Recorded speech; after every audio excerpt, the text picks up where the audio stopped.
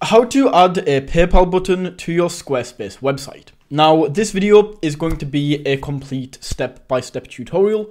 I'm going to show you everything that you need to know in order to add a PayPal button to your Squarespace website. Okay, so to do this, the first thing that you need to do is go to the link in the description of this video. Go ahead and open that up, and that is going to take you over to this website called Elfsight. Now, Elfsight is absolutely fantastic. It effectively allows us to get access to widgets and tools that we can't usually get access to on Squarespace alone. And this is what we are going to be using in order to get the PayPal button. Now, you can actually sign up with Elfsight for free. So all you need to do is go ahead and enter your email in right here. Click on start, and then you can sign up for your free account. Once you have done that, just click on widgets at the top right here. And as you can see, all of these widgets are here. Now you can play around with these, add different ones to your website, test them out, um, do all of that. However, in this video, we are looking for PayPal button. So just go ahead and type PayPal into this top box. Click on PayPal button right here. And then if we scroll down, you can see it gives us a few options. So we can choose like buy a coffee, subscribe, or buy.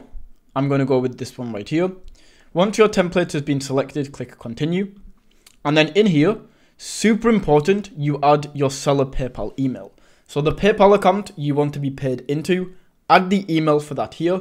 And this is only going to accept business PayPal accounts. Now you can choose the product name as well. So if I just put like chocolate like that, we can choose like the currency, the price, everything like that. And you can also add a redirect URL. So when somebody goes through and they pay, you can choose a page for them to be taken to after.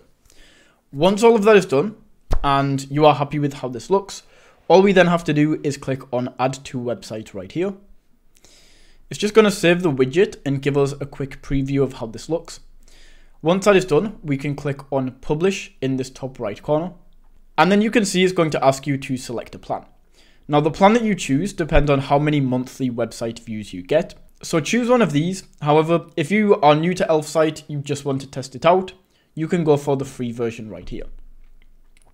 Now, at this point, it is literally as simple as copy and paste. All we need to do is copy the code right here, go over to Squarespace, and then add this in. So wherever you want to add this, um, let's just add it here. All you need to do is click on add block. Go to the code. So you should see when you click on add block, it gives you an option for code and then it adds it in.